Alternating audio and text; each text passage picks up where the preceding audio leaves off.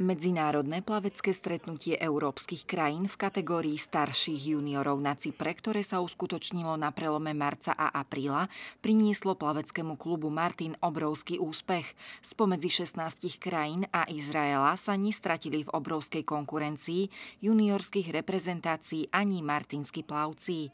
Laura Gruchaľáková podala skvelý výkon na 200 metrov polohové preteky, čím si vyplávala limit na majstrovstva Európy, ktoré sa budú konať začiatkom júla v Belehrade. Ja som bola strašne potešená, keďže po dvoch rokoch sa mi podaril z jednej strany osobák aj ten limit a v podstate prvých 15 minút, čo som zaplávala, som plakala od šťastia, takže bolo to neuveriteľné nadšenie. Očakávala si, že v tejto disciplíne budeš úspešná?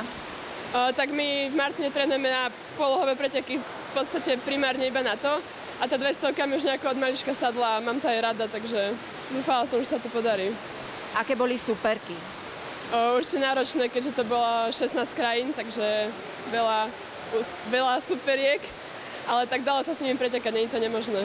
Laura išla veľmi pekne, vlastne obsadila celkové 5. miesto, čo v takej konkurencii bolo fakt dobré. V podstate si to aj zaslúžila, lebo má veľmi dobrý prístup k tréningu. Medzi európskymi juniormi sa nestratil ani Rišo Púček od reprezentovania mesta Martin i Slovenska na prestížnom európskom šampionáte v júli hodili už len veľmi málo. Ja som veľmi spokojný, dal som si niekoľko svojich osobných rekordov a bola to aj dobrá skúsenosť, lebo som mohol vidieť, ako plávajú tí najlepší.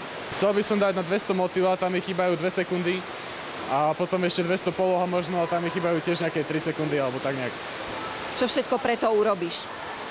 Tak máme 11 tréningov za týždeň, plus o to ešte sám trénujem niekedy doma, tak, tak, tak sa snažím. Skvelý výkon podal na medzinárodnom plaveckom stretnutí európskych krajín v Belehrade v kategórii mladší juniori aj Adam Černák. Bolo to celkom dobrá skúsenosť ich zo zahraničia, teda z reprezentáciou Slovenska a rád sa zúčastním aj ďalších, ak to pôjde. Adamovi sa darilo veľmi dobre, lebo si urobil osobáky výrazné.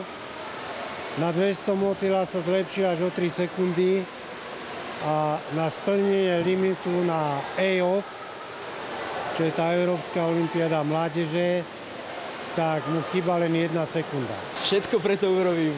To je taký aj no, dosť veľký cieľ, ktorý určite chcem splniť, lebo EOF už je pre mňa niečo obrovské, takže budem trénovať dušou celou.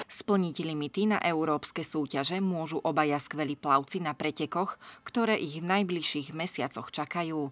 Medzi ne patrí aj najvyššia slovenská súťaž, a to majstrovstvá Slovenska.